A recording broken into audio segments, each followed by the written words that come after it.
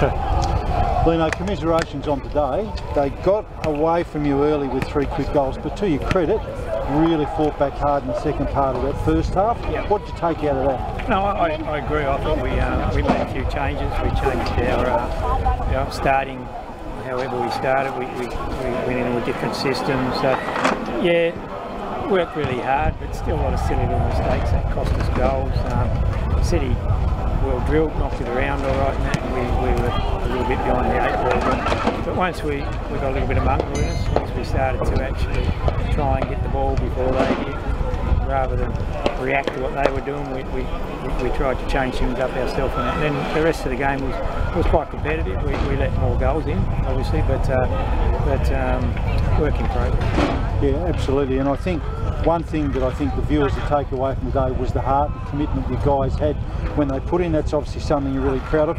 What do you take away for your next game? What do you take? What positive do you take out of today, getting ready for next week?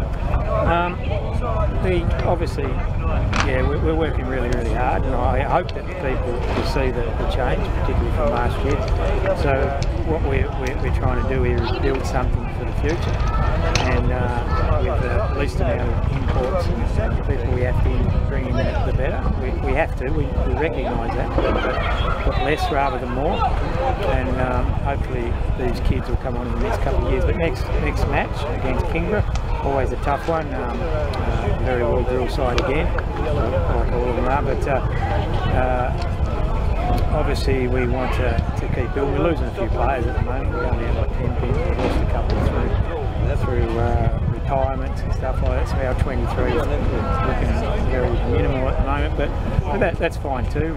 You, you, uh, you have to play with what you got. I can't wait till the middle of the year comes and you can start bringing some people in and, and, and changing some names. But uh, the guys are working hard. They, they make uh, a lot of silly little mistakes, a lot of fitness mistakes. But that's that's I can fix that.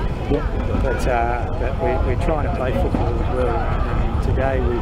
We went a little bit defensive, but to their credit, when we got the ball, we, we went, we went to attack and then, and then turn around and come back.